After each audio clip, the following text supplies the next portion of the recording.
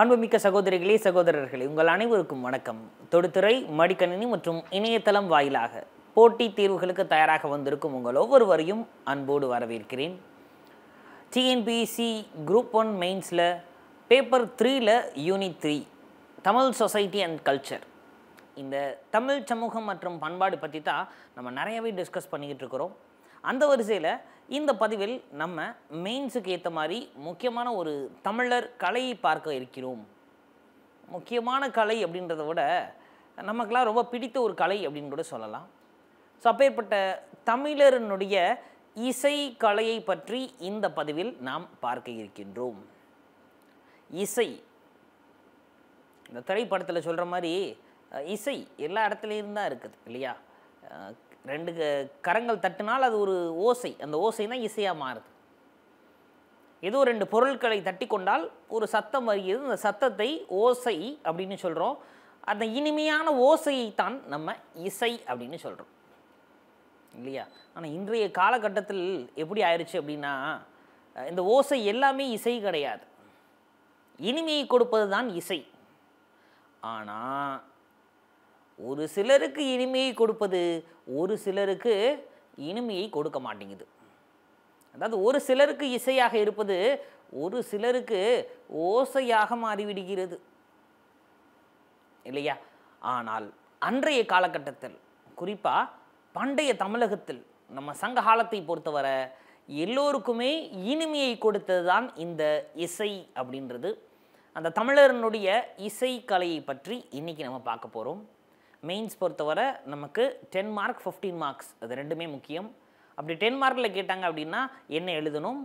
15 மார்க்கில் தமிழருடைய இசைக்கலை பற்றி கேட்டால் என்ன எழுதணும் அப்படின்றத இந்த பதிவு ஃபுல்லாக பார்த்தா நமக்கு தெரிஞ்சிடும் சரி வாங்க இன்றைய பதிவிற்கு போகலாம். இசைக்கலை. இப்போ இசை எத்தனை வகைப்படும் அப்படின்னு கேட்டாலே நம்ம யோசிப்போம். இது ஏழு இசையில் அப்படின்னு சொல்கிறோம் அப்போ ஏழு இசைன்றது உண்மைதானா? ஆம். ஏழு இசை அப்படின்றது உண்மை. ஆனால் நாம் சொல்லக்கூடிய ஏழு இசை சரிகம பதனி அப்படின்றது கர்நாடிக் இசை அப்படின்னு சொல்கிறோம் அப்போ தமிழர் இசை என்ன சொல்லுது? அது ஏழு தான் சொல்லுதா? ஏழு இசை ஏழ் நரம்பின் ஓசையை அப்படின்னு திருப்பதிக தொடர் நமக்கு சொல்லுது. எப்படி சொல்லுது? ஏழிசை ஏழ் நரம்பின் ஓசையை அப்படின்னு சொல்லுது. அப்போது இசை அப்படின்றது ஏழு விதமான இசை இருக்குது. அந்த ஏழு விதமான இசைக்கு ஏழு விதமான நரம்புகள் மூலம் அந்த சத்தத்தை எழுப்ப முடியும் அப்படின்றது இந்த தொடரின் மூலம் நமக்கு தெரியுது. இப்போ ஏழு இசை இருக்குதான் அப்போ இந்த இசை உருவாகிறது எங்கேருந்து உருவாகுது? நம்ம என்ன நினச்சிக்கிட்டு இருக்கிறோம் அப்படின்னா இந்த இசை அப்படின்றது ஒவ்வொரு இன்ஸ்ட்ருமெண்ட்ஸ் அப்போ கருவிகள் இதிலிருந்து தான் உருவாகுதுங்க. அப்போ எக்கச்சக்கமான கருவிகள் இருக்குது இல்லையா? அந்த இசை கருவிகள் இருந்தால் இசை உருவாகுதுன்னு நினச்சிக்கிட்டு இருக்கும். ஆனால் தமிழருடைய இசை எடுத்து பார்த்தோம் அப்படின்னா மனிதனின் உடலில் இருந்து அவன் எழுப்புகின்ற சத்தத்திலிருந்து தான் ஏழு இசை உருவாகுதான் ஏழு இசைன்னு சொல்கிறாங்கல்ல என்னென்னப்பா அந்த ஏழு இசை அப்படின்னா குரல் துத்தம் கைக்கிளை உளை இலி விளரி தாரம். இதுதான் ஏழு இசையாம் இந்த ஏழு இசையுமே எங்கேருந்து பறக்குது அப்படின்னு பார்த்தோம்னா மனிதனினுடைய சத்தம் மனிதன் எழுப்புக்கினுடைய ஓசையிலிருந்து தான் இந்த ஏழு இசைகளும் பறக்கின்றது அப்படின்னு சொல்கிறாங்க அது ஒரு விதமான இசை. இந்த குரல் எங்கிருந்து பிறக்கிறது? மிடற்றிலிருந்து பிறக்கிறது. மிடட்னா நம்முடைய தொண்டை. இப்போ தொண்டையிலிருந்து எழுப்பக்கூடிய சத்தம் தான் குரல் தொண்டையிலிருந்து வருது இல்லையா? அதுக்கு பேர் குரல். அதான் முதல் இசை. சரி நாக்கிலிருந்து ஒரு சத்தம் வருகிறது. ழா அப்படின்ற அந்த சிறப்பு லகரத்தை சொல்கிறப்ப நாவிலிருந்து தான் நமக்கு சத்தம் வரும் இல்லையா? அந்த நாவினால் எழுப்பக்கூடிய சத்தத்தை துத்தம் ரெண்டாவது வந்துடுச்சு அப்போ நாக்கிலேருந்து வரக்கூடிய சத்தத்தை நம்ம துத்தம் அப்படின்னு சொல்கிறோம் அடுத்ததாக அன்னம் இல்லையா? இந்த மேல்வாய். இந்த அன்னத்திலிருந்து வரக்கூடிய சத்தத்தை கைக்கிளை அப்படின்னு சொல்கிறோம் அன்னத்திலிருந்து வரக்கூடியதை கைக்கிளின்னு சொல்கிறோம் சரி சிரம் அப்போ நம்முடைய தலை. இந்த தலையிலிருந்து வரக்கூடிய சத்தத்தை உலை அப்படின்னு சொல்கிறோம் ரொம்ப ஆக்ரோஷமாக கத்தனோம்னா தலையிலிருந்து அந்த சத்தம் வரும். இல்லையா? அதுதான் உலை அப்படின்னு சொல்கிறோம் நெற்றி. அப்போ பார்த்தீங்கன்னா இந்த நெற்றி சுழிச்சு இந்த ஒரு ஹை பிச்சிலலாம் நம்ம பாடுறவ பார்த்தீங்கன்னா நெற்றினா சுருக்கி தான் பாடுவாங்க. ரொம்ப ஹை பிச்சாக இருக்கப்போ. அப்படி நெற்றியிலிருந்து பிறக்கக்கூடிய சத்தத்தை இலி அப்படின்னு சொல்கிறோம் நெஞ்சிலிருந்து எழுப்பக்கூடிய சத்தத்தை விளரி அப்படின்னு சொல்கிறோம் மூக்கிலிருந்து எழுப்பக்கூடிய சத்தத்தை தாரம் அப்படின்னு சொல்கிறோம் ஆக மொத்தத்தில் இந்த இசை அப்படின்றது இசை கருவிகள் கண்டுபிடிப்பதற்கு முன்பாகவே மனிதன் நம்ம இந்த மனுஷ எழுப்பக்கூடிய அந்த ஓசையிலிருந்து தான் ஏழு இசைகளும் பிறந்திருக்குது அப்படின்றத தமிழர்கள் நமக்கு தெரியப்படுத்துகிறார்கள். இல்லையா? மிடற்றிலிருந்து வருவதை குரல் அப்படின்னு சொல்கிறோம் இது இன்னைக்கு நம்ம பயன்படுத்திக்கிட்டு இருக்கோம். குரல் அப்படின்றது. தொண்டையிலிருந்து வரக்கூடிய சத்தத்தை குரல் அது மட்டும்தான் இன்னைக்கு வரை நம்ம பயன்படுத்திக்கிட்டு இருக்கோம். நாவினால் எழுப்பக்கூடியதை துத்தம் அப்படின்னு சொல்கிறோம் அன்னத்தால் இருக்கக்கூடியதை கைக்கிளை அப்படின்னு சொல்கிறோம் சிரம் தலையிலிருந்து பிறக்கக்கூடிய ஓசையை உலை அப்படின்னு சொல்கிறோம் நெற்றியிலிருந்து பிறக்கக்கூடிய ஓசையை இலி அப்படின்னு சொல்கிறோம் நெஞ்சிலிருந்து பிறக்கக்கூடிய ஓசையை விளறி அப்படின்னு சொல்கிறோம் மூக்கிலிருந்து பிறக்கக்கூடிய ஓசையை தாரம் அப்படின்னு சொல்கிறோம் இந்த இசைகள் எல்லாமே படிப்படியாக உயர்ந்து செல்வதை நம்ம ஆரோசை அப்படின்னு சொல்கிறோம் இல்லை அமரோசை அப்படின்னு சொல்கிறோம் அது என்னங்க? ஆரோசை அமரோசை. ஆ அப்போது சத்தம் கூட வருது. நெடில் தானே. அப்போ ஆரோசை அப்படின்னா இந்த இசை உயர்ந்து செல்லக்கூடியதை நம்ம ஆரோசை அப்படின்னு சொல்கிறோம் அமரோசை அப்படின்னா தாழ்ந்து வரக்கூடிய இசையை அமரோசை. அப்போ சாஃப்ட் பீட்டுன்றோம் இல்லையா? அந்த அமரோசை அந்த ஃபாஸ்ட் பீட் அப்படின்றத ஆரோசை அப்படின்னு சொல்கிறோம் நம்ம நிலவரத்தை பார்த்தீங்களா? தமிழை விளக்குவதற்கே நம்ம ஆங்கிலத்தை தான் பயன்படுத்துகிற மாதிரி லெவலில் இருக்கோம் நம்ம. இல்லையா? நம்முடைய நிலவரம் அப்படி இருக்குது. சரி ஸோ இப்போ இசை எங்கேருந்து பறக்குதுன்னு நமக்கு தெரிஞ்சிருச்சு. என்னென்ன விதமான இசை கருவிகள் இருந்தது அப்படின்றது நமக்கு தெரியணும் இல்லையா? அப்போ இசைக்குரிய கருவிகளை தான் நம்ம இசை கருவிகள் அப்படின்னு சொல்கிறோம் அப்படி தோல் கருவிகள் நம்ம இருந்திருக்குது. துளை கருவிகள் நம்ம கிட்டக்க இருக்குது. நரம்பு கருவிகள் நம்ம இருக்குது. கஞ்சக் கருவிகள் நம்ம இருக்குது. அப்போ நான்கு விதமான இசைக்கருவிகள் இருக்குது. அப்போ தோல் கருவிகள் அப்படின்றது என்ன? மத்தளம் பறை உடுக்கை இடுக்கை. அப்போது ஏதோ ஒரு விலங்கினுடைய தோளினால் செய்யப்பட்ட அந்த கருவியை நம்ம தோல் கருவி அப்படின்னு சொல்கிறோம் அதுக்கு எக்ஸாம்பிள் அந்த மத்தளம் பறை எல்லாமே. அடுத்ததாக துளை கருவி அப்படின்னு சொல்கிறோம் துளை அப்படின்னால ஓட்டை. இல்லையா? ஏதோ ஹோல் அப்போ நாதஸ்வரம் இந்த நாதஸ்வரத்தில் எப்படி சத்தம் வருகிறது? அந்த ஓட்டை வெளியாக அதெல்லாம் சவுண்ட் வருது. அந்த துளையின் வழியாகத்தான் நமக்கு சவுண்ட் வருது இல்லையா?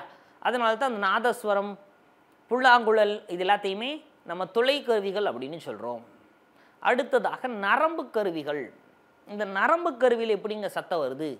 அந்த நரம்பின் வழியாக சத்தம் வருகிறது. வீணை. இந்த வீணையை நம்ம எக்ஸாம்பிளாக நரம்பு கருவிக்கு சொல்லலாம். அடுத்து கஞ்சக்கருவின்றாங்களே அது என்னது? கஞ்சம் அப்படின்னா ஏதோ ஒரு மெட்டல் இல்லையா? அப்போது ஏதோ ஒரு மெட்டல்னால் உருவாக்கப்பட்ட ஒரு கருவியை நம்ம கஞ்சக்கருவி அப்படின்னு சொல்கிறோம் உலோகத்தினால் செய்யப்பட்டது.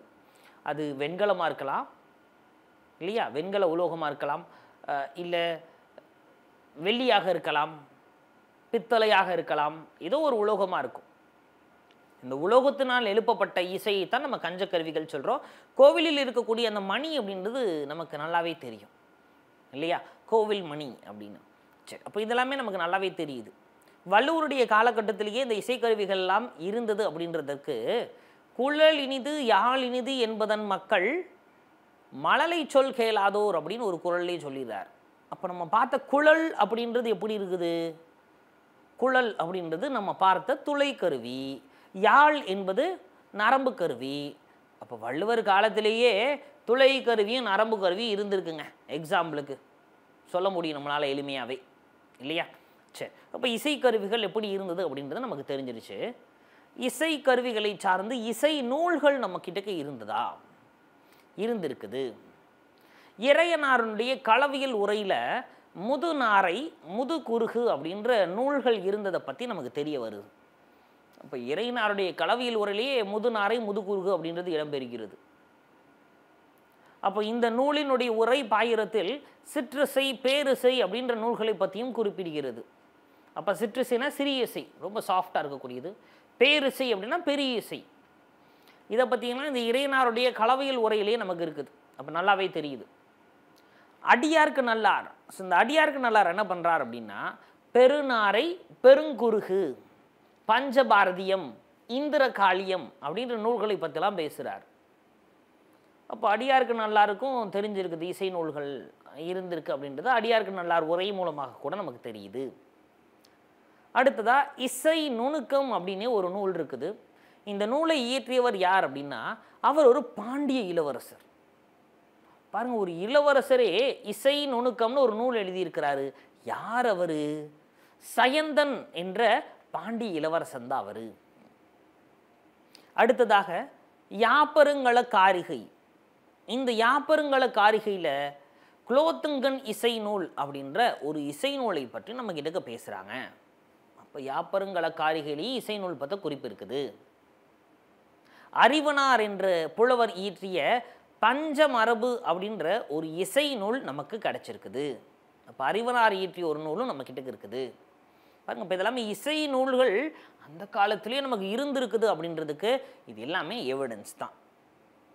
அப்போ இசை நூல்களே இருந்திருக்குது அப்படின்னா அந்த நூல்களை கற்ற இசை கலைஞர்கள் இருந்திருக்கணும் இல்லையா? அப்போ இசை கலைஞர்களும் இருந்திருக்கிறார்கள். எப்படி சொல்கிறீங்க இசைப்பாணர் யாழ்ப்பாணர் மண்டைப்பாணர் அப்படின்ற வார்த்தைகள் எல்லாம் நமக்கு சங்க இலக்கியங்களே இருக்குது. அப்போது இசைப்பாணர் அப்படின்றவங்க பாட்டு பாடக்கூடியவர்கள். இசையை எழுப்பி பாடல் பாடக்கூடியவர்கள். யாழ்ப்பாணர் யாழ் இசையை பயன்படுத்தி பாடல் பாடக்கூடியவர்கள். அப்போ நமக்கு தெரியுது இருந்திருக்கிறாங்க அப்படின்னு சொல்லிட்டு. குறிப்பாக இந்த சிலப்பதிகாரத்தினுடைய இந்திர விழாவூர் எடுத்த காதை. இந்த இந்திர விழாவூர் எடுத்த காதையில் தொலைக்கறி வாசிப்பவரை பற்றி பேசுகிறாரு தோள்கறி வாசிப்பவரை பற்றி பேசுகிறாரு நரம்பு கருவி வாசிப்பவரை பற்றி பேசுகிறாரு கண்டத்தால் பாடுபவரை பற்றி பேசுகிறார். அப்போ இது மட்டும் தான் பேசுகிறாரா அப்படின்னா இந்த சிலப்பதிகாரம் எக்கச்சக்கமான கண்டென்ட்டை நமக்கு கொடுக்குது. அப்போ தமிழ் இசையை மீட்டுருவாக்கியவர் அப்படின்னு சொல்லி ஆபிரகாம் பண்டிதர் அப்படின்னு ஒருத்தரை சொல்கிறோம் அப்போ உண்மையிலேயே இந்த தமிழ் இசையை மீட்டுருவாக்கியவர் ஆபிரகாம் பண்டிதர். அந்த ஆபிரகாம் பண்டிதர்கிட்ட ஒரு தடவை கேட்குறாங்க எப்படிங்க உங்களுக்கு தமிழ் இசையை மீட்டு உருவாக்கணும் அப்படின்னு தோணுச்சு? அப்படின்னு. அதுக்கு அவர் சிம்பிளாக சொல்லிட்டார் சிலப்பதிகார புக் எடுத்து படித்தேன். சிலப்பதிகாரத்தில் அவ்வளவு இசை பற்றிய குறிப்புகள் இருந்தது. அதை வாசித்ததுக்கு அப்புறம் தான் எனக்கு தமிழ் இசையை நம்ம மீட்டுருவாக்கணும் அப்படின்னு ஒரு எண்ணம் வந்தது அப்படின்னு சொல்லி தமிழ் இசையை மீட்டுருவாக்கிய ஆபிரஹாம் பண்டிதர் அவர்கள் சொல்கிறாரு. இந்த சிலப்பதிகாரத்தில் நம்ம பார்த்தோம்ல இசைக்கருவிகள்? அத்தனை இசைக்கருவிகளை பற்றியும் இருக்கின்றது. அடியாருக்கு நல்லாருடைய உரையில் முப்பத்தி ஆறு விதமான தோல் கருவிகள் மட்டுமே இருந்தது அப்படின்னு சொல்கிறார் தமிழ் புக்கில் முப்பதுன்னு கொடுத்துருப்பாங்க. எத்திக்ஸ் புக்கில் எடுத்து பார்த்தா முப்பத்தி ஆறுன்னு கொடுத்துருப்பாங்க. அப்போ உண்மையில் முப்பத்தி ஆறு புத்த முப்பத்தி ஆறு விதமான இசை கருவிகள் நம்ம கிட்டக்க இருந்திருக்குது. அப்போ நமக்கு சிலப்பதிகாரமே பெரிய எக்ஸாம்பிள் தான். இசை பற்றிய குறிப்புகளுக்கு. சரி சங்க இலக்கியங்கள் வருது சொல்லையா சார் சிறுபான் ஆற்றுப்படை பெரும்பான் ஆற்றுப்படை. இந்த இலக்கியங்களில் யாழ்ப்பாணரை பற்றிய செய்திகள் எக்கச்சக்கமாக நமக்கு கிடைக்குது. சரி சார் இசை நூல்கள் தெரிஞ்சிருச்சு இசை கலைஞர்கள் நமக்கு தெரிஞ்சிருச்சு. சங்க இலக்கியத்தில் இசையை பற்றி வேறு ஏதாவது இருக்கா? சங்க காலத்தில் நிலத்தை அடிப்படையாக வச்சு தான் நம்ம இசைக்குமே பேர் வச்சிருக்கிறோம். அப்போ ஒவ்வொரு நிலத்திற்கும் ஒவ்வொரு இசை இருக்குது. ஒவ்வொரு நிலத்திற்கும் ஒவ்வொரு இசை. நம்ம இந்த உரிப்பொருள் கருப்பொருள் முதற் பொருள் அப்படின்லாம் பிரிப்போம் திணையில். அதில் இந்த கருப்பொருள் அப்படின்றதுல ஒவ்வொரு நிலத்திற்கும் ஒரு இசை இருக்கின்றது. அப்படி குறிஞ்சி நிலத்திற்குரிய இசையை நம்ம குறிஞ்சி பண் அப்படின்னு சொல்கிறோம் முல்லை நிலத்திற்குரிய இசையை சாதாரி பண் அப்படின்னு சொல்கிறோம் பாலை நிலத்திற்குரிய இசையை பஞ்சுரப்பண் அப்படின்னு சொல்கிறோம் நெய்தல் நிலத்திற்குரிய இசையை செவ்வழிப்பண் அப்படின்னு சொல்கிறோம் மருத நிலத்திற்குரிய இசையை மருதப்பண் அப்படின்னு சொல்கிறோம் பாருங்க அஞ்சு திணைகள் நம்மக்கிட்ட இருக்குது. இந்த அன்பின் ஐந்திணைகளில் ஒவ்வொரு திணைக்கும் ஒவ்வொரு இசை இருந்திருக்கிறது. அந்த இசைக்கு ஒரு பேரும் நம்ம வச்சுருந்துருக்குறோம். அப்போ இதெல்லாமே சங்க காலத்தில் சங்க இலக்கியங்கள் நமக்கு இசையை பற்றிய குறிப்புகளை தருது. சரி சார் சங்க இலக்கியங்கள் வேறு ஏதாவது மேற்கோள்கள் காட்டியிருக்கிறாங்களா? மேற்கோள் காட்டின மாதிரி. புறநானூரில் இசை பற்றி நமக்கு இருக்குது. இந்த போரில் புண்பட்ட வீரர்களை அங்கே இருக்கக்கூடிய பேய்களிடமிருந்து காப்பாற்றுவதற்காக காஞ்சி பண் பாடப்பட்டதாக புறநானூறு நமக்கு சொல்லுது. யாழ் கருவியினால் இந்த கலைஞர்கள் விடிய விடிய பாடியிருக்கிறாங்க. அப்படி அவங்க மருதப்பண் மருத இசையை பாடிய பொழுது மருத நிலத்தினுடைய இசையை பாடிய பொழுது பொழுது விடிந்ததாக மதுரை காஞ்சி நமக்கு சொல்லுது. பரிபாடல் இந்த பரிபாடல் பேர்லேயே வந்துடுச்சு இல்லையா? ஆமாம் அப்போது குதிரை எப்படி நடக்கிறப்ப சத்தம் வருமோ அதே மாதிரி பரிபாடலை வாசிக்கின்ற பொழுதும் நமக்கு சத்தம் வரும். அவ்வளோ அழகாக உருவாக்கி இருப்பார்கள் அதான் அந்த பரிபாடல். இந்த பரிபாடலில் வெறியாட்ட பாடல் வலை பாடல் அப்படின்ற ரெண்டு இசைப்பாடல்கள் நமக்கு இருக்குது. இந்த பரிபாடலுடைய சிறப்பு என்ன அப்படின்னா இந்த பாடலினுடைய இறுதியில் அந்த பாடலை எந்த பண்ணில் இசைக்கணும்? அப்போ என்ன மியூசிக்கில் அதை பாடணும்? எந்த கருவியை பயன்படுத்தணும்? அப்படின்ற தகவலையும் நமக்கு இந்த பரிபாடல் நமக்கு சொல்லுது. அதுதான் இங்கே முக்கியமே. அப்போ நமக்கு நல்லாவே தெரிஞ்சிருச்சு. இல்லையா? நல்லாவே தெரிஞ்சிருச்சு. இசை அப்படின்றதுக்கு நமக்கு என்னென்ன விஷயங்கள் நமக்கு சங்ககாலத்திலேருந்தே இருந்தது அப்படின்னு சொல்லி. வேறு கேள்வி எக்ஸாம் பாயிண்ட் ஆஃப் வியூ நம்ம பார்க்கணும்னா தமிழர் இசை எப்படி ஆரம்பிச்சது அப்படின்றது நமக்கு தெரிஞ்சிருச்சு. எப்படி உருவானது அப்படின்னு. இல்லையா? அப்போது ஃபிஃப்டீன் மார்க்கில் கேட்குறாங்க அப்படின்னா நம்ம தமிழருடைய இசைக்கலை பற்றி நீவீர் அறிவன யாவை அப்படின்னு கேட்டுருவாங்க. What you know about Tamil music forms அப்போ நம்ம எழுதணும். தமிழர் இசை அப்படின்றது எப்படி இருந்தது? அப்போது ஏழு இசை ஏழு நரம்பின் அப்படின்றதில் ஆரம்பித்து ஏழு இசை எங்கெங்கேருந்து பறந்தது அப்படின்றத நம்ம சொல்லிடணும். சங்க காலத்தில் இசை பற்றிய குறிப்புகள் இருந்தது இல்லையா? அந்த இசை பற்றிய குறிப்புகளை நம்ம சொல்லணும்.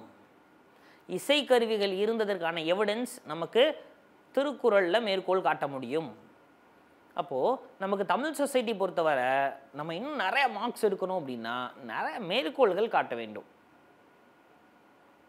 அப்போ இசைக்கருவி இருந்தது அப்படின்றத நம்ம எப்படி மேற்கோள் காட்டலாம்? திருக்குறளை மேற்கோள் காட்டலாம். சிலப்பதிகாரத்தை மேற்கோள் காட்டலாம். இல்லையா? இதெல்லாம் நம்ம மேற்கோள் காட்ட முடியும். இப்போ எக்ஸாம் பாயிண்ட் ஆஃப் வியூ நமக்கு என்ன தேவையோ அதை தான் பார்த்துக்கிட்டு இருந்திருக்கோம் இல்லையா? ஒருவேளை கொஸ்டின் கேட்குறப்ப இசை நூல்களை பற்றி எழுது அப்படின்னு சொன்னால் நம்ம என்ன பண்ணலாம்? ஃபிஃப்டீன் மார்க்கில் கேட்குறாங்கப்பா. தமிழருடைய இசை நூல்களை குறித்து எழுது அப்படின்னு அப்போ கொஸ்டின் இப்படி கேட்டுட்டாங்க அப்படின்னா கண்டென்ட்டை மாற்ற போகிறதே கிடையாது நல்லா புரிஞ்சுக்கணும் இல்லையா? அப்போ நம்ம இசை நூல்கள் அப்படின்றத இன்றைக்கி ஒரு டாப்பிக்காக பார்த்தோம். இறையனார் கலவியல் உரையில் முதுநாரை முதுகுருகு அப்படின்ற இசை நூல்களை பற்றி பேசினாங்க. அந்த நூல்லையே பேருசை பேரிசை சிற்றிசை அப்படின்னு ரெண்டு விதமான இசையை பற்றி பேசினாங்க.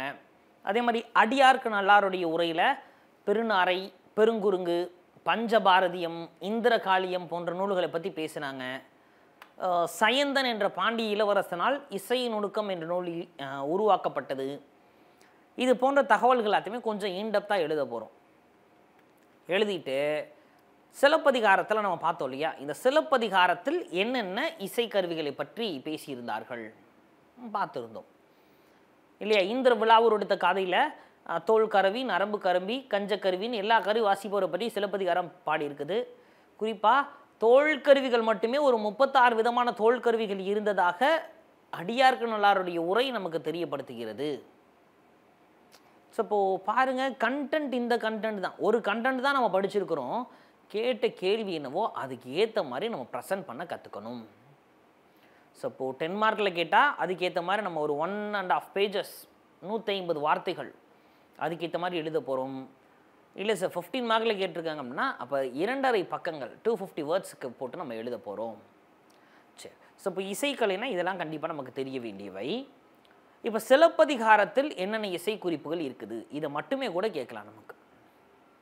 சிலப்பதிகாரத்தில் என்னென்ன இசை குறிப்புகள் இருந்தது? சிலப்பதிகாரம் என்னதான் சொல்லுது? இசையை பற்றி. அடுத்து பக்தி இய- இயக்கங்கள் இசையை பற்றி என்ன சொல்லுது? இது எல்லாமே நம்ம தெரிஞ்சிட்டோம்னா இசையை பற்றி ஃபுல்லாகவே நமக்கு தெரிஞ்சிடும் சரி. அப்போ சிலப்பதிகாரமும் இசையும் அப்படின்றத பற்றி ஒரு டென் மார்க்ஸ்க்கு ஏற்ற மாதிரி நம்ம பார்க்க போகிறோம் பத்து மார்க் கொஷனை கேட்டால் என்னென்ன எழுதலாம் அப்படின்னு. அப்போ முதல்ல சிலப்பதிகாரத்தை பற்றி ஒரு இன்ட்ரோ ஒரு மூணு லைனில் சொல்லிடணும். சிலப்பதிகாரத்தை யார் இயற்றினது எந்த காலகட்டத்தை சார்ந்தது அப்படின்றதெல்லாம் சொல்லிடணும். ஒரு மூணு லைனில் நாலு லைனில் முடிச்சிடணும். இன்ட்ரோ கொடுத்துட்டு சிலப்பதிகாரமும் இசையும் அப்படின்னு இப்போ தான் டைட்டிலே போடுறோம். கேட்ட கேள்விக்கான டைட்டில் ஒரு இன்ட்ரோ கொடுத்ததுக்கு அப்புறம் தான் போடுறோம். அப்போ சிலப்பதிகாரத்தில் நம்ம இதுவரை என்னென்ன பார்த்தோம்? ஏன்னா ஒன் அண்ட் ஆஃப் பேஜஸ் எழுதணும் இல்லையா? அப்போ தோல் கருவிகள் இருந்தது. இந்திர விழாவும் எடுத்த காதைன்னு ஒரு டைட்டில் போட்டு அதில் தோல் கருவி வாசிப்பவர்கள் இருந்தாங்க. துளை கருவி வாசிப்பவர்கள் இருந்தாங்க. நரம்பு கருவி வாசிப்பவர்கள் இருந்தாங்க. இது எல்லாத்தையுமே நம்ம சொல்லிடுறோம் இல்லையா? முப்பத்தாறு விதமான தோல் கருவிகள் இருந்ததாக அடியாருக்கு நல்லார் உரை சொல்லுது அப்படின்னு சொல்லி இதெல்லாம் சொல்லிட்டு ஏன்னா இசைக்கருவிகளை பற்றி சொல்லியிருக்கிறாங்க இல்லையா? அதெல்லாம் சொல்லிட்டோம். அடுத்ததாக இசை கலைஞர்கள் பாருங்கள் பாருங்க முதல்ல இசை கருவிகள் அப்படின்னு சொன்னேன். சிலப்பதிகாரத்தில் என்னென்ன இசை கருவிகள் பற்றி பேசுனாங்கன்னு சொல்லிட்டேன். இப்போ இசை கலைஞர்கள் பற்றி அடுத்து சொல்ல போகிறோம் அப்போது சிலப்பதிகாரத்தில் பார்த்தீங்கன்னா இந்த மாதவி என்ற ஒரு பெண் இருக்கிறாங்க. ஒரு ஆடல் மங்கை. பதினோரு விதமான ஆடல்களிலும் சிறந்தவள் தான் இந்த மாதவி. அந்த மாதவியினுடைய நாடக அரங்கில் யார் யாரெல்லாம் அந்த மாதவியினுக்கு உதவ இருந்தாங்க அப்படின்றத அழகா சொல்கிறார் இசை ஆசிரியன் இருந்திருக்கிறார். மத்தளம் இசைக்கும் தன்னுண்மை ஆசிரியன் இருந்திருக்கிறாரு. வேய்குழல் ஊதுபவன் இருந்திருக்கிறான். யாழ் ஆசிரியர்கள் இருந்திருக்கிறார்கள். பாருங்க இசை ஆசிரியர்கள் கூட இருந்திருக்கிறார்கள் அப்படின்றது நமக்கு தெரியுது. இசை கலைஞர்கள் போய் இசை ஆசிரியர்கள் இருந்திருக்கிறாங்க. சரி அப்போ சிலப்பதிகாரத்தில் எந்தெந்த காதைகளில் இந்த இசை பற்றிய குறிப்புகள் அதிகமாக இருக்குது அப்படின்றத பார்க்க போகிறோம் இசை குறிப்புகள் நிறைந்த காதை அப்படின்னு ஒரு டைட்டில் போடுறோம். அந்த டைட்டில் போட்டு அரங்கேற்று காதையில் இசை பற்றி பேசுது. ஆய்ச்சியர் குறவை காணல் வரி வேநீர் காதை கடல் ஆடு காதை புறஞ்சேரியில் இருத்த காதை. இந்த ஆறு காதைகளிலும் இசை பற்றிய குறிப்புகள் எக்கச்சக்கமாக இருக்குங்க. சிலப்பதிகாரத்தில் மொத்தமே முப்பது காதைகள் தான். இந்த முப்பது காதைகளில் ஆறு காதைகள் இசையை பற்றி பேசுகிறது. கிட்டத்தட்ட டுவெண்ட்டி பர்சன்டேஜ் அந்த இருபது இருபது பர்சன்டேஜ் அந்த புக்கில் ஆறு காதைகள்னா இசை பற்றிய குறிப்புகள் இருக்குது. அப்போ கேட்ட கேள்விக்கு நம்ம இப்படி தான் பதில் சொல்லணும். படித்த எல்லாத்தையுமே எழுதணும்னு எதிர்பார்க்கக்கூடாது. நல்லா புரிஞ்சுக்கணும். என்ன கேள்வி கேட்டிருக்காங்களோ அதை தான் எழுதணும். அவங்க சிலப்பதிகாரமும் இசையும் கேட்டால் நம்ம சிலப்பதிகாரத்தில் என்னென்ன இசை இருக்குன்ற இதை தான் எழுதணுமே தவிர நமக்கு தெரிஞ்ச மிடற்றினால் குரலும் நாவினால் துத்தமும் அப்படின்னு வரிசையாக கதை எழுதி வச்சிடக்கூடாது. சரிங்களா? எஸ் ஓகேங்க ஸோ இப்போது இசை அப்படின்றது எப்படின்னு நமக்கு அருமையாக தெரிஞ்சிருச்சு. இல்லையா? ரைட் இந்த பக்தி இயக்கங்களில் இசை பற்றி பேசியிருக்கிறாங்களா? ஆமாம் பக்தி இயக்கங்களிலும் இசையை பற்றி பேசியிருக்கிறார்கள். இந்த பக்தி இயக்கங்கள் உருவாக்கப்பட்டதே பார்த்தீங்கன்னா சைவம் வைணவம் இந்த இரண்டு மதங்கள் இந்த இரண்டிற்கும் இருக்கக்கூடிய பெருமாளையும் வீரசைவர்கள் சிவபெருமானுக்கும் அவங்க தங்கள் இசையின் மூலம் பாடலாக பாடி வாழ்த்து சொல்வதாகத்தான் மன்றாடுவதாகத்தான் அவங்க வந்து உருவாக்கியிருக்கிறாங்க. ரெண்டு விதமான அவங்க பாடல்களை எழுதுகிறாங்க ஒரு விதம் என்ன அப்படின்னா பாட்டு எழுதுகிறப்பயே இசை கலந்து மாதிரி எழுதிடுறது. பாருங்கள் இங்கே பாட்டு எழுதுகிற வரை இசை மாதிரி நீ நான் ஒன்று காந்தி பிறந்த மண் அந்த மாதிரி நம்ம திரைப்படத்தை சொல்கிறல ரைமிங்காக டைமிங்காக எதுகை மோனையெல்லாம் இருக்கிற மாதிரி எழுதுறது தான் ஒரு கேட்டகரி அப்போ இன்னொரு விதம் என்ன அப்படின்னா இறைவனுக்கு தகுந்த மாதிரி இறைவனை புகுந்து பாடல் எழுதிடுவாங்க பக்தி இலக்கியங்கள். பாடலை எழுதிட்டு அதுக்கப்புறம் அதுக்கு இசையமைப்பார்கள். அப்போ இந்த ரெண்டு விதமாக இருந்தது. அப்படி பக்தி இயக்கங்கள் காலகட்டத்தில் தான் தேவாரம் உருவாக்கப்பட்டது. இந்த தேவாரத்தை மாணிக்கவாசகர் பண் சுமந்த பாடல் அப்படின்னு சொல்கிறாரு அப்போ இந்த பக்தி இயக்கங்களினுடைய சார்பாக தமிழகத்தில் பல்வேறு இடங்கள்ல கோவில்களே கட்டப்பட்டது. இந்த ஏழாம் நூற்றாண்டுக்கு அப்புறம் தான் எக்கச்சக்கமாக கோவில்கள் கட்ட ஆரம்பிக்கிறோம். அந்த கோவில்களில் கூட பல்வேறு கோவில்களில் இசை தூண்கள் இருக்குது. திருநெல்வேலி ஆழ்வார் திருநகரி மதுரை தென்காசி குற்றாலம் சுசீந்திரம் இந்த கோவில்கள் எல்லாத்துலேயுமே இசை தூண்கள் காணப்படுகிறது. பாருங்க பக்தி இயக்கங்கள்லாம் இசையில் எப்படி இருந்தது அப்படின்றத கேட்டால் இந்த கண்டென்ட் எல்லாத்தையும் நம்ம சொல்கிறோம் அப்போ நமக்கு நல்லா ஒரு விஷயம் புரிஞ்சுக்கணும் எல்லாருமே. கேள்வி என்ன கேட்குறாங்களோ அந்த கேள்விக்கான பதிலை தான் நாம் எழுத வேண்டும். அதை விட்டுட்டு அந்த கேள்வியில் இருக்கக்கூடிய அந்த ஒரு வார்த்தையை பார்த்துட்டு நமக்கு என்னெல்லாம் தெரியுமோ அதெல்லாம் எழுதிடக்கூடாது. ஸோ இப்போ இன்றைக்கி பார்த்த இந்த பதிவில் சிலப்பதிகாரமும் இசையும் அப்படின்னு கேட்டாலும் நமக்கு என்ன எழுதணும் அப்படின்றத பார்த்துட்டோம். தமிழர் இசை குறித்த நீவீர் அறிவன யாவை அப்படின்னு கேட்டால் இது எல்லாத்தையுமே எழுதி வச்சிட போகிறோம் சங்க காலத்தில் இசை குறித்து நீவீர் அறிவன யாவை அப்படின்னா சங்க காலத்தில் தமிழருடைய இசை எப்படி இருந்ததுன்றதை பார்க்க போகிறோம் தமிழரின் இசை நூல்கள் குறித்து நீவீர் அறிவன யாவை? அப்படின்னு கேட்டால் தமிழருடைய இசை நூல்கள் குறித்து நம்ம எழுத போகிறோம் பாருங்கள் இந்த ஒரு பதிவில் மட்டும் நமக்கு கிட்டத்தட்ட ஒரு ஐந்து கேள்விகளுக்கு நம்ம படிச்சிட்டோம். பாருங்கள் கண்டென்ட் ஒன்று தான் ஆனால் இந்த கண்டென்ட்டை இந்த ஐந்து கேள்விகளுக்கு ஏற்ற மாதிரி நாம் எழுத தெரிந்து கொள்ள வேண்டும். நம்ம படிக்கிறது எக்ஸாமுக்கு என்ன தேவையோ அதைத்தான் நம்ம படிக்கணும். வள வள வளன்னு எல்லாத்தையெல்லாம் படித்து வச்சுக்கிட்டுலாம் இருக்கக்கூடாது. தேவைப்படுற கண்டென்ட்டை மட்டும் படிச்சுட்டு அதை மட்டும் கேட்ட கேள்விக்கு அழகாக ப்ரெசன்ட் பண்ணி எழுதிட்டு வந்துடணும். கேட்ட கேள்வி என்னன்றதை புரிஞ்சுக்கிறது தான் மெயின்ஸ் பொறுத்தவரை நமக்கு ரொம்ப ரொம்ப முக்கியத்துவம் வாய்ந்தது. அந்த கேட்ட கேள்விக்கு சரியாக எழுதிட்டோம் அப்படின்னாலே நமக்கு ஈஸியாக ஸ்கோர் பண்ணிடலாம். படித்து கொண்டே இருங்கள். கண்டிப்பாக ஒரு நாள் விடியும். அந்த நாள் உங்கள் ஒவ்வொருவரின் பேரை சொல்லும். நன்றி.